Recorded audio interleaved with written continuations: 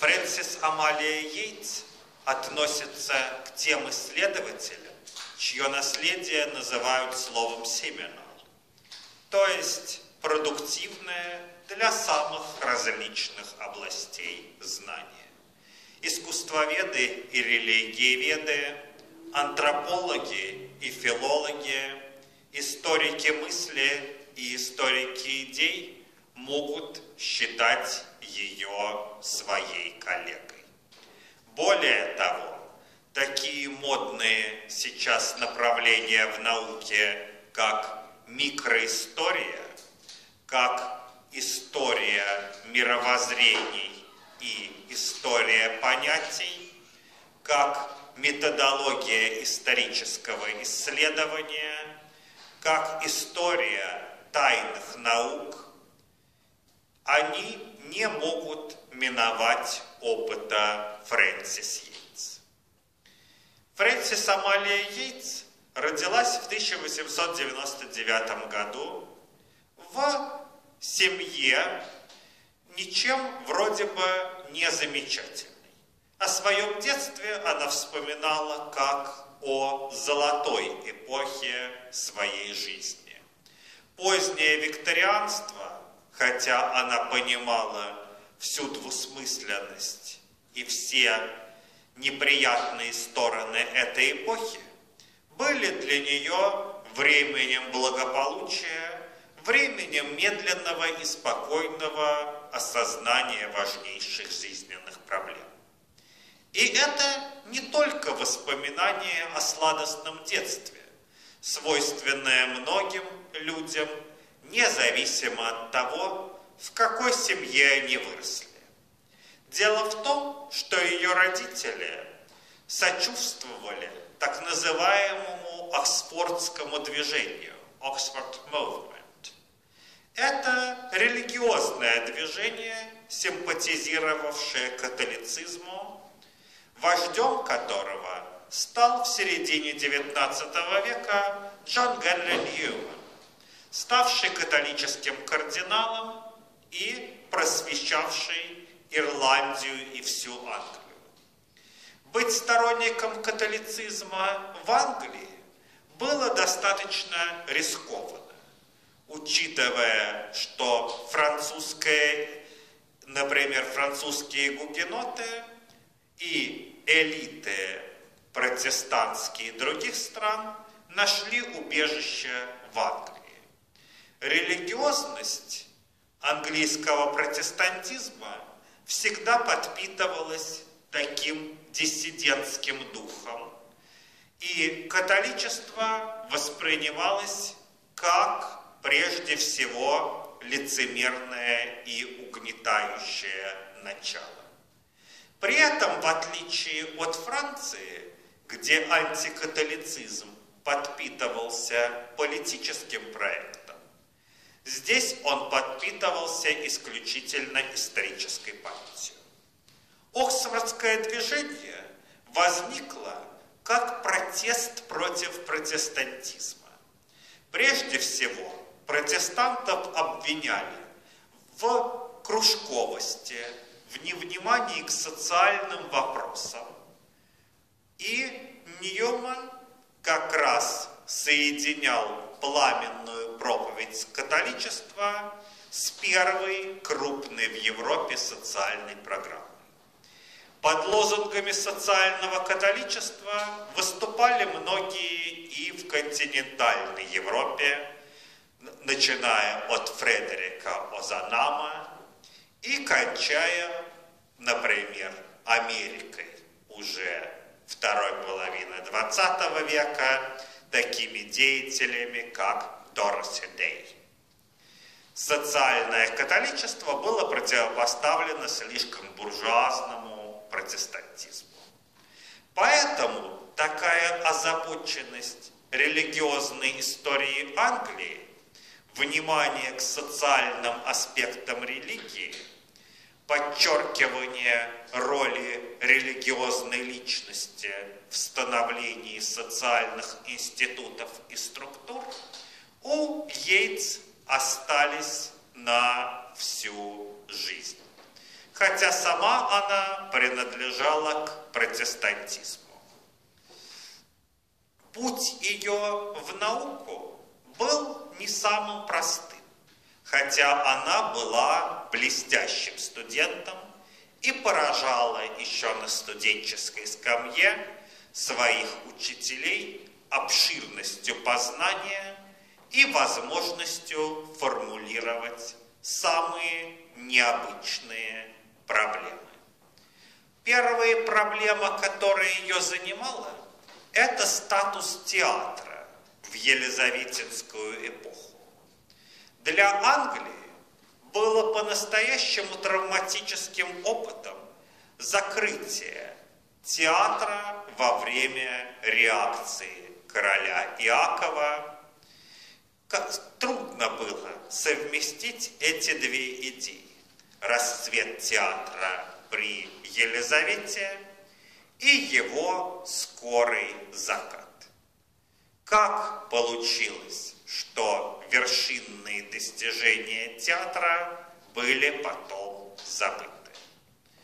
Поэтому Йейтс предложила сопоставлять театр не с линейной эволюцией искусства, в которой сохраняется все лучшее, и новые формы порождают новые формы, а с пропагандой, агитацией, искусством плаката или современными ей медиа. Уже в ранних работах Фрэнсис Амалия Йейтс сопоставляла Елизаветинский театр с современным ей радио, заявляя, что перед нами практически радиопостановки, рассчитанные на неграмотных или необразованных людей и внушающие в форме художественного конфликта готовые политические идеи. По сути дела, Зритель театра должен, следя за конфликтом, успеть определиться. И политическое самоопределение оказывается ключевым эстетическим опытом. Опытом, происходящим прямо в ходе пьесы. Эта мысль Йейтс стала основной для изучения Елизаветинского театра. И в настоящее время хорошо установлено, на какие именно политические перемены откликался Шекспир и другие драматурги.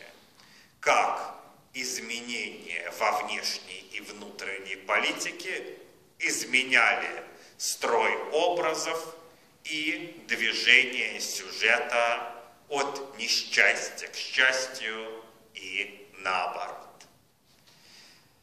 Далее Фрэнсис Амалия Йейтс в 1939 году присоединяется к Варбургскому институту. Это была одновременно и научная, и общественная позиция. Варбургский институт был изгнан из Германии и получил в Англии убежище. И с ним сотрудничали прежде всего историки, озабоченные нацистской угрозой. Например, в 1943 году Йейтс принимал участие в круглом столе, который назывался очень показательно как будет писаться история, если немцы победят. То есть история оказывалась делом победителей не только в том смысле, что победители искажают историю, начинают прославлять себя или клеветать на своих поверженных противников.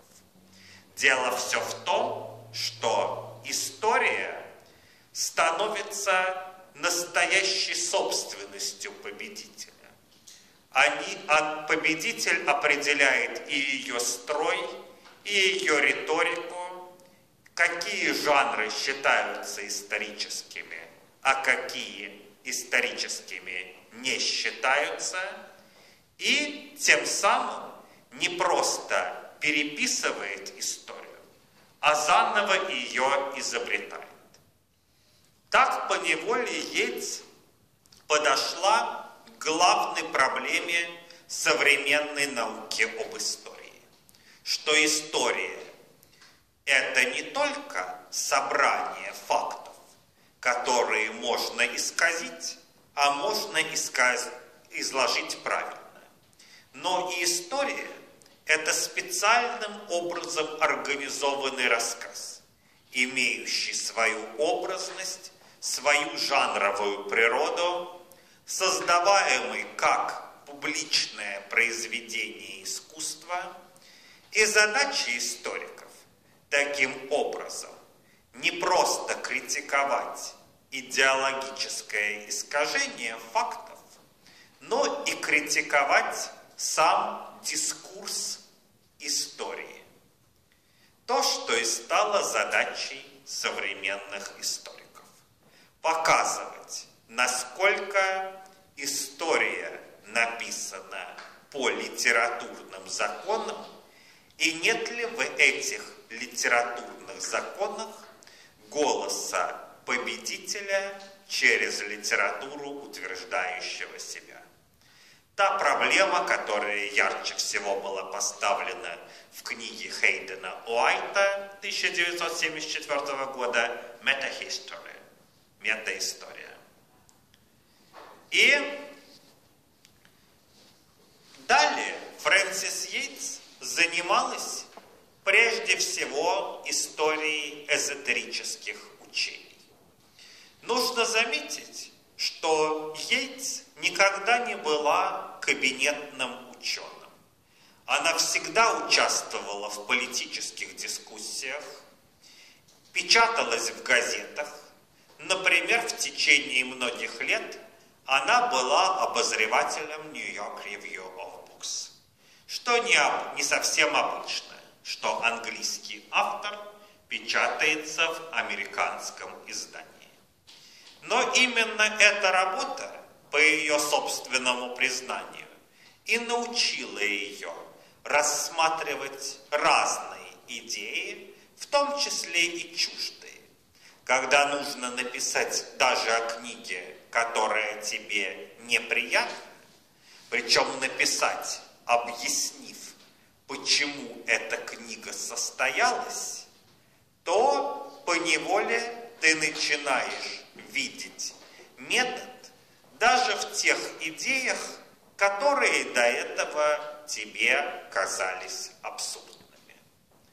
Фрэнсис Йейтс повезло и с русскими переводами. Переведены, а, в общем-то, основные ее книги. И «Розенкрейцерское просвещение», и «Искусство памяти», и Джордана Бруно. Фигура Джордана Бруно всегда ее занимала, потому что апофеоза теория Бруно достигла именно во время преподавания в Англии. И как раз ее заботило, почему не возникло английского брунианства, почему мыслитель, всячески хотевший быть харизматиком, хотевший быть новым пророком, так и не создал никакого учения в Англии. Хотя Англия всегда изобиловала сектами, и, например, поз... там, в 18 и 19 веке Англию иногда называли страной сект. Где же брунианцы? И выяснилось, что учение Бруно представляет собой не его самостоятельное создание, не его проект, который всегда требует каких-то перформативных ритуалов. Любой сектант должен совершать чудеса или хотя бы театрализованно выступать перед публикой. А представляла себе результат интерпретации, результат приложения к текстам, приписанным Гермесу Трисмегисту, тех методов, которые до этого применялись к писанию. Джордано Бруно при всех своих амбициях выглядел не как начинатель нового учения, не как герой науки, а как добросовестный интерпретатор, как человек, который создавал совершенно фантастическую и безумную систему, просто используя те ключи для интерпретации, которые использовались до этого по отношению к Библии. Как из Библии можно было вывести все. Также Джордано Бруно решил вывести все, что можно, из Гермеса Трисмегиста. И по отдельные идеи выходили здравыми, отдельные идеи выходили совершенно безумными. Поэтому просто Бруно не смог довести до конца свой проект. Если другие читатели Гермеса Трисмегиста согласовывали учение Гермеса с учениями других священных книг, то Бруно решил выступить как профессор, как схоласт. И Йейтс замечает, что Бруно, по сути дела, сделал шаг в средние века потому что он работает с авторитетным текстом. Тогда как люди Возрождения легко перепрыгивают от текста к тексту. Вдохновением для Гейтс были еще построения историка науки конца XIX века Пьера Дюэма, который первый поставил под вопрос распространенную в школах трактовку Бруно как мученика науки как ученого нового типа, пострадавшего за смелые научные открытия. Он обратил, Дюэм обратил внимание на то, что наука и магия из, тогда, в эпоху позднего Возрождения, рассматривались как занятия одного порядка. И наука и магия ставят целью повлиять на действительность с помощью каких-то формул, методов и построений.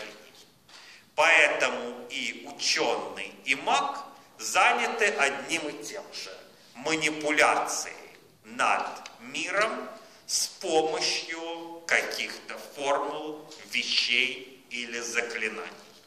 Между формулой и заклинанием дистанция оказалась не такой большой, как думали.